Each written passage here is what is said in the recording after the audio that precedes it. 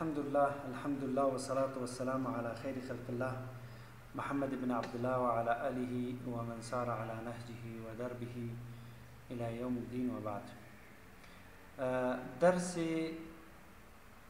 امروزی ما در درس پنجم یا درس سوم فلسفه که با أساس هشت پنجم میشه سوم میشه و با أساس 16 هفته درس پنجم میشه یا ششم میشه که ما در این مورد درس که عنوانش است علم کلام. علم کلام یعنی علم گفتگو علم بحث علم نظریات علم طرح نظریات. این علم بین مسلمانان مشهور است به نام علم کلام. أصلا علم کلام علمی است که در وقت دفاع از دین پیدا شده. وقتی که اینها یعنی بیگانگان بالا اسلام دین اسلام برخی از اتهامات و نظریات و برخی از چیزهایی را گفتن که اسلام نبودن لکن اونها برشان بیان می‌کردن بد و رد می‌گفتن. باز مسلمانان به خاطر ازی که از دین خود دفاع بکنه و از عقاید و مفکوره های خود دفاع بکنه. این علم را وضع کردن که علم کلام نامشان نامیده شد. و بالخصوص در برخی از خاص خاص عقایدی است که وابسته به علم کلام است مثل علم خداوند و کلیات و جزیات و آیا کلام خداوند قدیم است یا حدیث است. یعنی این کلامی که گفته او در ازل گفته شده یعنی آل که چیزی را میگه همین لحظه نطق می‌کنه صحبت می‌کنه و بحث می‌کنه.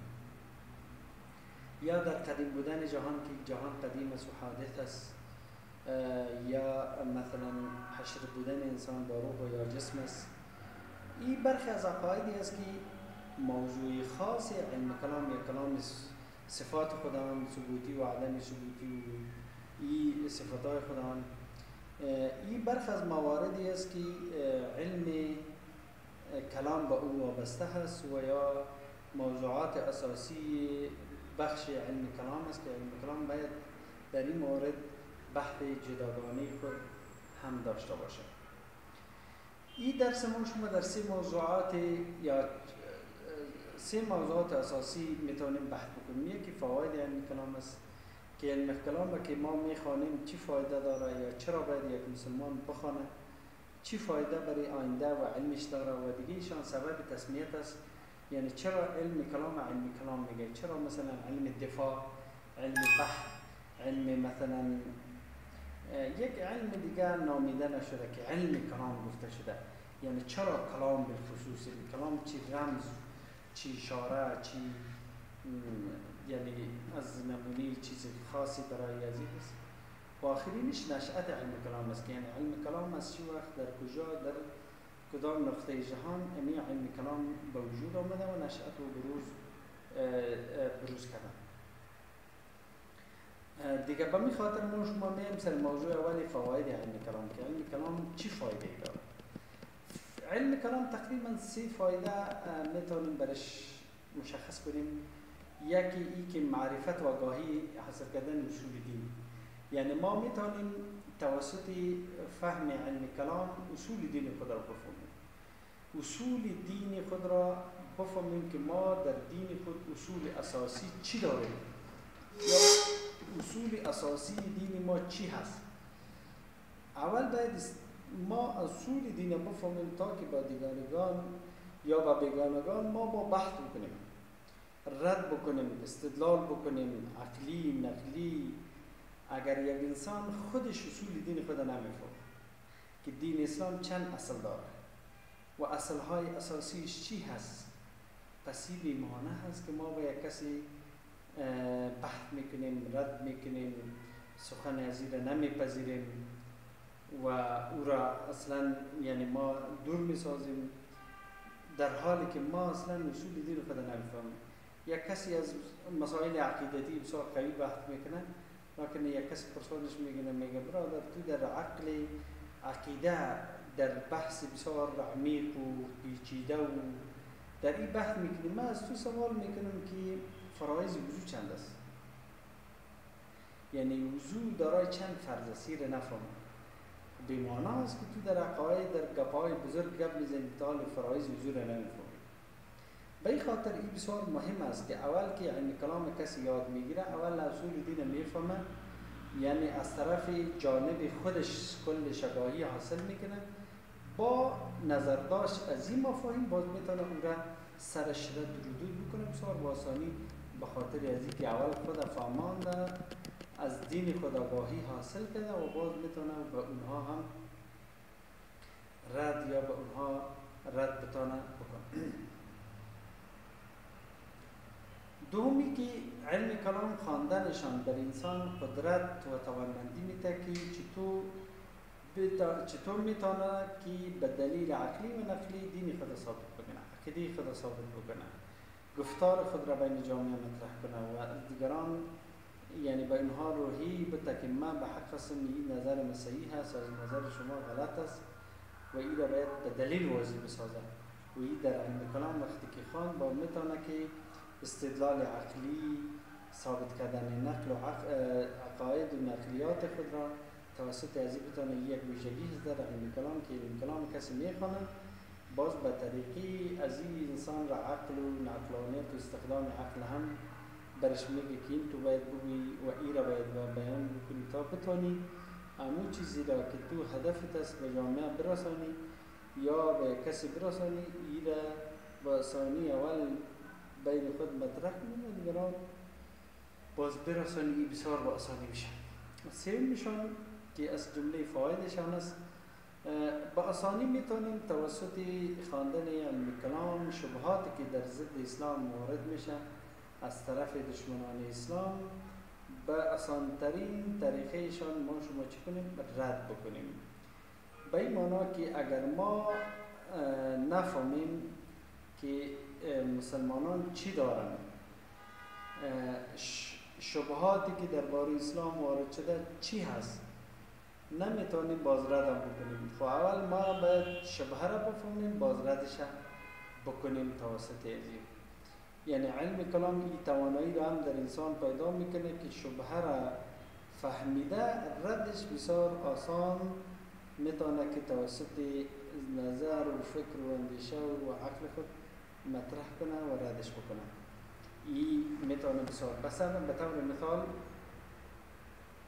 مثالش برخی از شبهاتی که درباره اسلام وارد میشه و شبهاتی است که بین انسان ها زیاد گفته میشه و خواستن کفار او را زیاد زمزمه می‌کنه و زیاد سرشان فوکس می‌کنه که اینمی یک غلطی یک مشکلی در اسلام است. به طور مثال ازدواج یا نکاح کردن پیغمبر علیه السلام با عایشه رضی الله در سن نو سالگی است. که اینها زیاد دلیل میگیرن بحث میکنن که عایشه رضی الله را پیغمبر علیه السلام در سن نو سالگی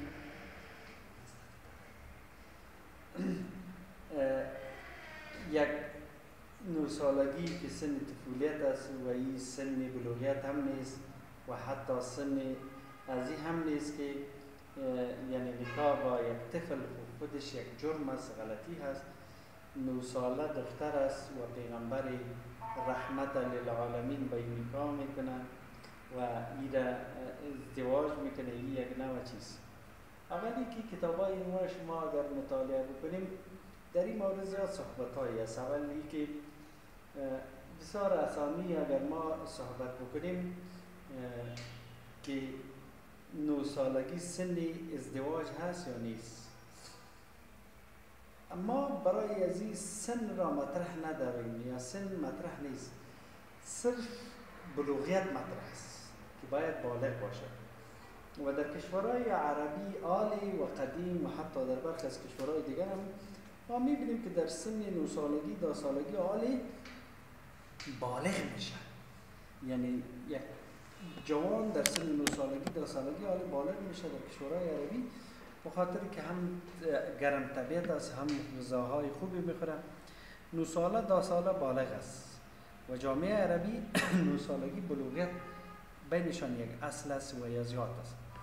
پس عایشه را در سن نو سالگی اگر بالغ شده باشه کدام مانعی برای ازدواجش وجود نداره؟ ما خب به جامعه خود یا به جامعه فقیر یا به جامعه سر اینا مقایسه نمی‌کنیم که مثلا در افغانستان نمیشه خیلی در در کشورام نمیشه این کشورها را حالی ما داریم که در سن 9 دو 11 و 12 سال است. ما که در افغانستان شاید سن بلوغت 16 17 باشه. دومی که در برخ از کتاب ها گفته میشه که بعد از اسما ردلان ها اسما بن دبی بکر میگه ای دو سال بود یا سی سال بعد نکاح شده و او رو میگه در سال فلانی میشه و او از او که در سنش هم از اسما خورد است. یعنی بعد از اوست بعد از اسما ایست او را میگه در سن 17 سالگی اسما 18 سالگی ازدواج شده. او را که به این زر می‌کنی و این را می‌کشی میگه که اسما عایشه رضی الله عنها هم در سن 17 سالگی ازدواج کرده یعنی که به خانه نبی صلی الله علیه و رفته هست. لکن خطبهشان قدیم شده و ازدواجشان بعدی صورت گرفته. دیگه هم ایرم گفته میشه که حتی عایشه رضی الله در سن, سن نو سالگی خطبه شده یعنی خوازگاری شده لکن ازدواجش بعدی صورت گرفته لکن اگر همون دلیل را بگیریم که در سن نو سالگی بخی عروسی شده در خانه پیغمبر علیه السلام آمده بازم کدام مانع عقلی وجود نداره که چرا؟ به خاطر که می شود به خاطر که سنش قابل بلوغیت است و بلوغیت در عربا بوده و کدام مشکلی نیست.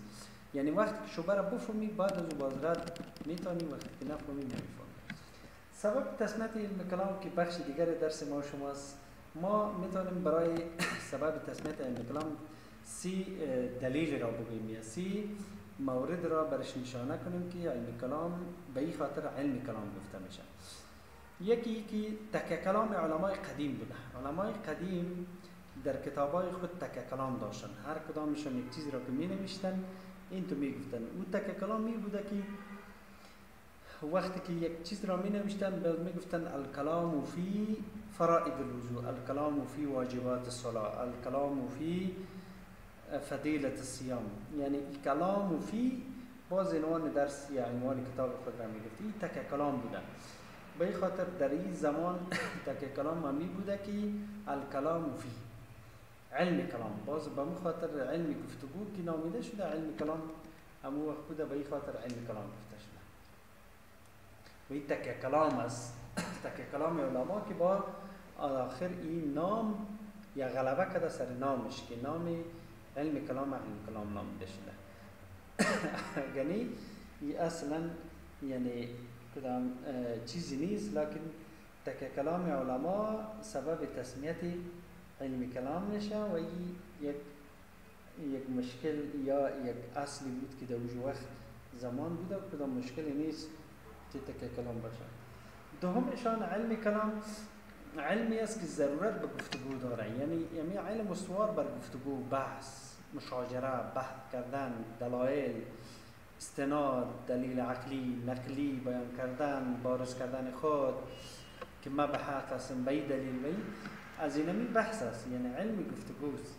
به این خاطر امی موضوع علم کلام که موضوع گفتگو هست بالای نامشان چی کرده غلبه کرده و گفته که این علم علم کلام است به خاطر از که گفتگو در او اصل است و به می خاطر علم کلام هم نامیده شده یا ای این نام بالای نشان چی کرده غلبه کرده و به این خاطر علم کلام گفته میشه. یعنی غلبه موضوع بالای نام است. موضوع علم کلام همیست و این با به نام هم غلبه کرده که نامشان باشه. سومشان که اصل موضوع سبب تسمیت هم همی علما میگه که اینمی هست. که واقع یا حادثه خلافت عباسی ها که با معتزله روبرو شدن معتزله که سر صدا کشیدن که کلام خداوند مخلوق است. یعنی کلام خداوند که آل بحث می‌کنه گفتگو می‌کنه آلی است یا قدیم است؟ ازلا صحبت کرده مثلا جنگ بدر واقع شد متصلش پیغمبر علیه السلام سرش وحی نازل شد. یعنی پیغمبر علیه السلام که امی آیات بدر نازل شد. امی لحظه خداوند دید در زمین که مشکل در مسلمانان هست یا به خاطر تسلیت بازی آمد؟ یعنی این آیات قبلا بود در علم خداوند. گفتگویش قدیم شده بود. لکن آلی که مناسبت واقع شد بازی برش نازل شد. یا آل گفته شد. معتزله میگفتنی کلام خداوند جل جلاله آل گفته شد. یعنی همین لحظه که چیزی میگم حادثه. و ما میگیم نه علم خداوند کلام خداوند قدیم است. یعنی هر چیز را که آل میگه یا نازل میشه ای در قدیم بوده. قدیما صحبت شده لیکن آن با اساس مناسبت آل آمده ما دلیل از اینم امیر میگیم که اول قرآن از میشان چند نزول داره؟ دو نزول. نزول اولیش به صدرت المنتها یا به محفوظ بار اول جملتا واحده. یعنی سی پاره به محفوظ یک بار آمد. یک بار کلش آمد. یعنی اینجا بدر واقع نشده احزاب واقع نشده دیگه مسوره نور واقع نشده قصه افک پیدا نشده فلان نیست. لکن سی پاره آمد خویی علم ازلی شد یا کلام ازلی شد یعنی پیغمبر علیه السلام اصلا پیغمبر نشده و یا پیغمبر است لکن برای پیغمبر نازل وحی نزولش به دنیا نشده. لکن جملتا واحدتا آمده ملعب محفوظ.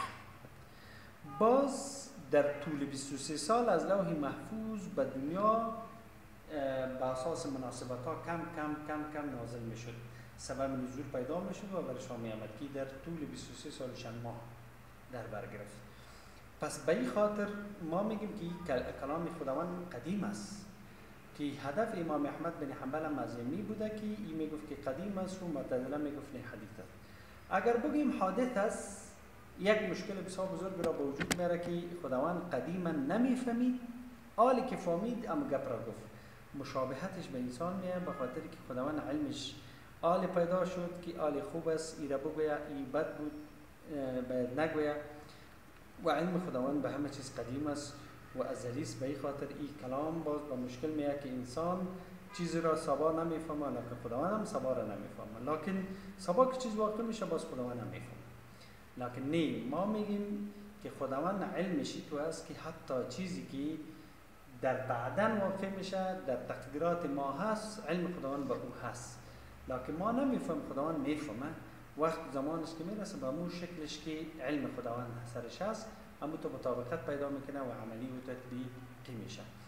به این خاطر وقتی که یعنی مشکل امام احمد بن حنبل و معتزله پیدا شد باز مردم در بین خود به خاطر سهولت الفاظ به خاطر ازی که بفهمه که چطور نازل می‌شد یا گپ به کجا رسید باز می‌گفتن که کلام و امام احمد به معتزله وصل إلى این کلام إمام أحمد بن حنبل با معتزله به کجا رسید؟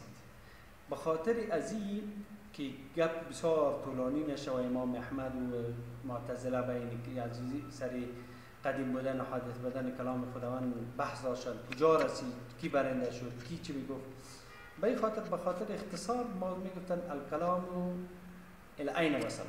کلام خداوند صحبتش به کجا رسید؟ به اختصار به این خاطر بازی ایخی سرشان نامشان هم غلبه کرد که باز مسلمانان بعد از می‌گفت که الکلام فی یعنی علم کلام که علمی است که سر ازی بحث می‌کنه در اینجا ما یک چیزی را به خاطر گفتیم که قرآن از مشان در طول 23 سال نازل می‌شد. لوح محفوظ جمله واحده ای در بعدیشان متفرق در چند سال. و گفتیم که قرآن از مشان در چند علتا نازل می‌شد. اولی که قرآن از مشان یک نزول جملتا واحدة جملتا واحدة در لوح محفوظ باز با اساسی ضرورت در دنیا کم کم. یا سوال میشد می یسألونک عن الروح یسألونک عن المحید یسألونک عن الأهل؟ یسألونک عن یعنی یسألونک از بسیار سوالات باز در جوابشان قرآن نازل میشه یک ترتیب بوده یا حادثه واقع میشد مثل حادثه افک یا مثل حادثه دیگر بدر یا مثلا جنگ حنین ای تو حادثه واقع می‌شد تعقیبش خوبی و بدی جنگ ها می‌گفت. یا ضرورت بشری بوده که یک چیز جدید باید بیا مثل نزول مثلا نماز فرض شدنش یا روزه یا زکات که کسی هم سوال نکرده لکن خود خداوند نیاز دیده که آل باید سر مسلمانان که یک چیز بیا یا ببین به این خاطر لازم میشه دیگه ای که قرآن از مشان بر پیغمبر علیه السلام تدرج نازل میشه کم کم. یعنی در دنیا به تدرج به خاطر از که بتانه برداشت بکنه بتانه حفظ بکنه بتانه عمل بکنه یک بار مثل تورات انجیل نازل نشد و خاطر که فهم و درک کردن و حفظ کردنش برای انسان آسانتر باشه. اینمی که ما گفتیم که به خاطر از این هم یک مشکل بوده آخرین نقطه نشط علمی کلام است که یک بحث جداگانه هست که وابسته به درسی پنجم ششم ما شما علمی کلام. این هست چرا؟ یعنی علم کلام از چی وقت بین مسلمانان پیدا شده رشد اگر به اختصار بگیم دو نظر وجود داره یک نظر اهل تشیع دیگرش هم نظر اهل تسنن. اهل تشیع این نظر است که بانی این علم تقدمگذار این علم هم علی رضی الله وقتی که به خوارج بعد از جدا شدنش از صفشان عباس عبدالله بن عباس روان کرد و خودش گفتگو کرد. از نموز علم کلام یا علم گفتگو نازل شد شروع شد. به خاطر که وام با اساس یک چیز جدا شده بودن و قناعتشان به دلیل می‌دادن. گفتگو بود و از نموز شروع شد. و به این خاطر اونها که گذار علم کلام علی رضی خودش است در جامعه یا در وقت خلافت خود با خوارج. لكن ما أهل سنت باز این نظر نه علم کلام من حیث یک علم جداگانه و مستقل در خلافت عباسی ها پیدا شده به خاطر که بالخصوص که علوم و فنون نوشته شد جدا شد امی عصر طلایی ذهبی نامیده شد و امی حادثه قصه امام احمد با معتزله بخی روشن از دموجه پیدا شد. باز یه علم کلام گذشته شد که به خاطر که چطور می‌تونن از دین خود توسط گفتگو به گفتگو و بحث می‌تونه دفاع بکنه باز این یه علم گذشته شد که علم کلام نامیده شد به خاطر که دیدن که یک ضرورت است که از دین خود توسط دشمنان بیگانه که تر همیشه از این طریق دفاع بکنیم. یه علم گفتگو بحث و استدلال عقلی پیدا شد که قبلا ضرورت و نیازی برش وجودی نداشته لکن نظر ما اهل سنت نسبت به او سیست به خاطر که این دلیل هم است که ما به دلیل میگیم که این در بعدی پیدا شده و در او وقت در بین انسان های دیگر وجودی نداشته. به خاطر این هم بحث است. آخرین نقطه موضوعاتی که ارتباط به علم کلام داره که من در قدیم یک اشاره کردم لكن دريجة باز بخاطر كي دريجة نمشش ما قلتم كي الموضوعات آه، الأساسية كي بعلم الكلام آه، ضرورة آه، وابسته هست ومو علم خداوند با كليات وجزيات جزئيات آیا الله جل جلاله كلام يا الله مخلوق است خالق است؟ کلیات و علمش وجسم انسان روحا وجسما جسما رو حشر شدن مسئله یا قدیم بدن جهان یا پس دمیدن روح یا حساب کتاب جهان این مسائل صفات خداوند چی صفات داره ازلی صفات قدیم صفات کمال که بعض از اینها یهودیان دیگران را می‌بینیم که به خداوند صفات نقص رو ثابت می‌کنه. این مسائلی که پیدا شد باز به خاطر دفاع از دین توسط کلام و گفتگو به توسط عقل باز یه علم گذشته شد و این نظر نظر صحیح هست که یعنی کلام بعد از عصر عباسی ها پیدا شده و ایجاد شده که قدیم بین مسلمانان نبوده. این بود درس علم کلام. ما شما که علم کلام علم چی را میگه از کجا پیدا شده چی فواید داره چی نظریات دیگه که در قدیم نبوده. این هم وابسته به علم فلسفه هست. یک جز است که علم کلام. دیگه ای که انشالله ما شما در درس بعدی باز سر تصوف بحث میکنیم که یک بحث اساسی دیگر علم فلسفه یا وابسته به فلسفه یا جزئیات فلسفه یا گذار تأثیر فلسفه بالایش است یک جزئی از فلسفه از فلسفه گرفته شده یک بخش اساسیشان و علم تصوف است که تصوف هم تأثیر زیادی را از فلسفه گرفته و موضوعات زیاد و معتقدات زیاد دارند که از فلاسفه اونها گرفتن که در تصوف اصلی وجود نداره انشاءالله ما شما در درس بعدی باز سر موضوع تصوف به تفصیل بحث می‌کنیم و می‌بینیم که انشاءالله که آیا تصوف در اسلام وجود داره نداره کدام تصوف صحیح است کدام غلط است. و در وقتش انشاءالله ما شما بیان می‌کنیم که تصوف چگونه هست و چی علم است. و انشاءالله وضاحت بیشتر در این مورد در درس بعدی میتیم که تصوف هم لبشر صلى الله تعالى على خير خلق محمد وعلى اله وصحبه أجمعين.